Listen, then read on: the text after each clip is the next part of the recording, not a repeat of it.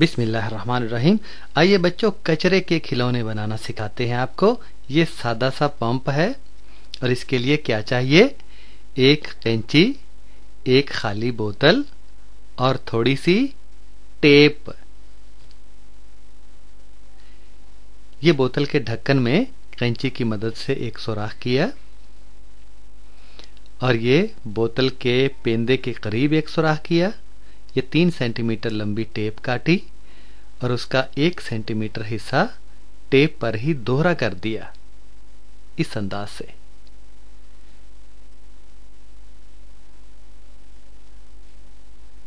इसको दो हिस्सों में दरमियान से काट दिया।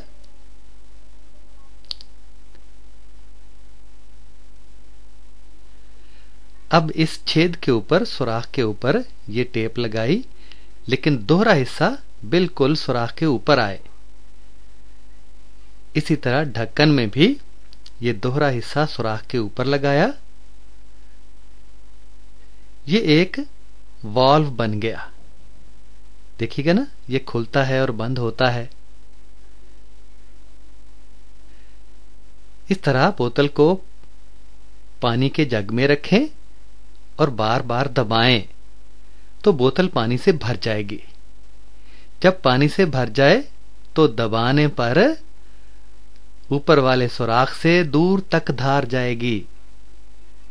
लो जी, पंप आपका तैयार। ये देखिए, आप वाल्व को खुलते और बंद होते भी देख सकते हैं। इस तरह से।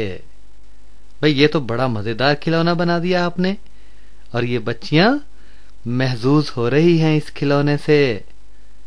आप भी ज़रूर बनाएँ।